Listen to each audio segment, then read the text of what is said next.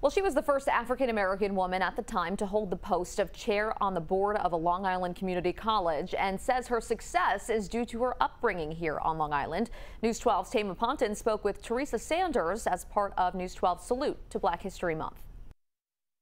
I went to East Meadows School, so I was in Barnum Woods Elementary School and the only black person in my class. Theresa Sanders is now the president and CEO of the Urban League of Long Island and says she is still putting into practice the lessons her parents taught her growing up at Mitchel Field. Even if you feel alone and by yourself, you have to have confidence in your skills. You can't concentrate on how other people perceive you. Sanders has worked for the Urban League for almost 30 years. She says the organization works to ensure people in Nassau and Suffolk have equal opportunity to academic enrichment programs and workforce development training, especially youth education and training. We empower communities and change lives. Sanders is also a member of the Board of Trustees at Suffolk Community College, where she made history back in 2016 when she was elected as board chair, the first black person and first black woman to hold that post. Very often, I am the only person of color in a room. I'm the only person of color that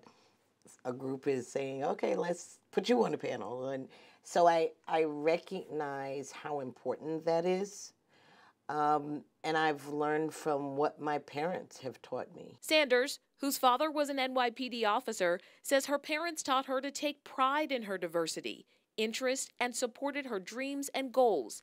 Encouragement she is working to pass along to the next generation of Long Islanders. I would encourage people to seek a multitude of things to explore. You just don't know what's going to strike that, you know, that little spark and, and give you the encouragement to want to do something in life that's a little bit different. It's made me brave. In Plainview, I'm Tama Ponton, News 12, Long Island.